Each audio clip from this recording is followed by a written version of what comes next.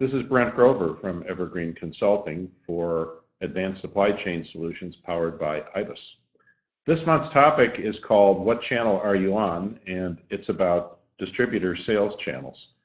Last week I introduced the topic generally and this week I'd like to talk about one of those three channels which is outside sales reps supported by reactive customer service staff. Just to be clear, reactive customer service staff are those people who answer the phone, talk to customers, provide information, and uh, troubleshoot problems and sometimes take orders over the telephone. So that's the typical model used by branch-based wholesale distributors, which is what uh, most, most distributors are using that structure. So outside sales reps uh, for a branch-based distributor are typically about one-third of the employees in the firm. They're the highest paid group of employees.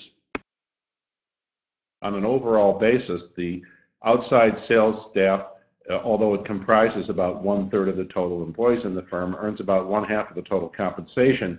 And if you do the arithmetic, that means that the typical outside sales rep earns about 150% of the average compensation of all the other people in the organization. And uh, that works out to about double of what the non-sales employees earn. So they're the highest paid people. Uh, their compensation is typically almost entirely at risk. It's usually a commission that's based on gross margin dollars or some uh, modification thereof, but that's the general uh, scheme that most outside salespeople uh, are, are paid under. So what are the pros and cons of using an outside sales force? Well, of course, this is the way wholesale distributors traditionally go to market. Uh, these sales reps tend to be entrepreneurial. They feel like they're in business for themselves, but they also tend to be quite autonomous, which is not necessarily a good thing when management is trying to uh, take control of the business. These uh, outside sellers are typically lightly managed, which is good in the sense it doesn't require uh, as much uh, time or expense to oversee their activities. On the other hand, they're often undermanaged, which is uh, not necessarily so good.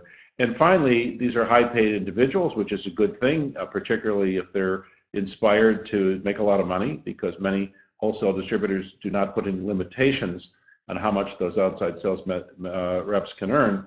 But the sales reps can become complacent because when they do start to make a lot of money, uh, particularly uh, once they've uh, become successful in their careers, they may be less motivated by additional compensation than they are by having some uh, more time to themselves. So pros and cons to the outside sales force, uh, both in terms of compensation and management issues, but in, in, terms of the classic outside sales rep that we think of when we think of wholesale distributor sales forces, they're uh, usually the literally the face of the company. Uh, they're out there in the field with their customers. They're persuasive people. They're personable individuals, and if they're really successful, they at least have a good working product knowledge and of course, they have a lot of uh, knowledge about their customers. That was really what you would call customer intimacy, one of the reasons that the outside sales reps are often very successful. The function that those outside sales reps perform is that of an information provider to their customers and also uh, being an order writer. In the classic case, the outside sales rep was out there acting as basically the link between the customer and, and the distributor and also uh, the primary uh, method of order entry for their customers. And the classic uh, outside sales rep for a wholesale distributor is able to handle all different types of accounts. That makes them really a generalist for the most part, not a specialist. What now? Uh, today, the world has changed. Multi-channel marketing, multi-channel selling uh, is upon us. And uh, what about the outside sales reps, the, the classic, let's say, distributor outside sales rep. Is that person obsolete? Well, no, uh, not if they're adaptable and can change with the with the needs of their customers.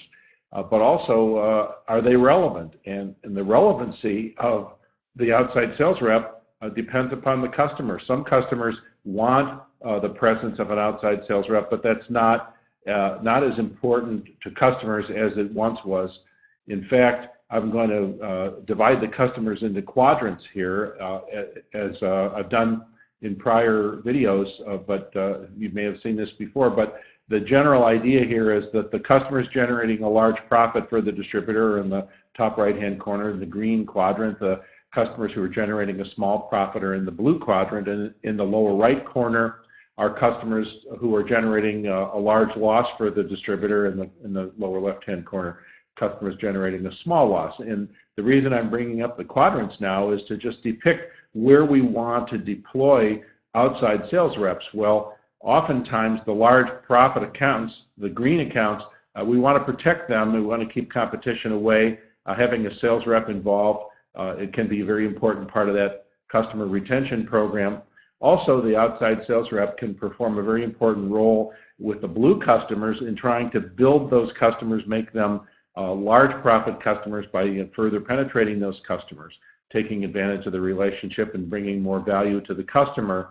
Uh, less important perhaps with the small loss accounts, except for the ones where there's an opportunity to turn them around. And then in the large loss account situations, uh, sometimes an outside sales rep is very important with those customers, but on the other hand, if those customers are a money-losing proposition for the distributor, and perhaps the customer doesn't really want or need the services of the outside sales rep, one way to control the cost to serve to that type of customer is to uh, service that customer differently. So the op option here is that there are other sales channels to use other than outside sales reps, and as depicted by this diagram uh, that says uh, what do customers want, the outside sales reps are in the red box at the top of this diagram, but if you go around the circle there, you see other types of sales uh, methods, other channels, including uh, inside sales, direct mail, and so on.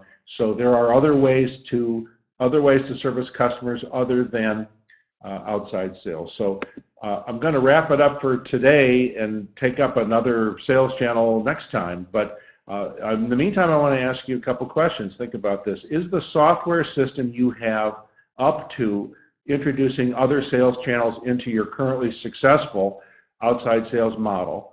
Are your salespeople up to it? Are they adaptable? Uh, do you have people in your organization who could become effective inside, proactive outside, uh, proactive inside sales reps? And then finally, of course, is your management team up to the challenge and the change that's required in introducing new sales channels into your organization? So until next time, this is Brent Grover from Evergreen Consulting for Advanced Supply Chain Solutions, powered by IBIS. Thanks.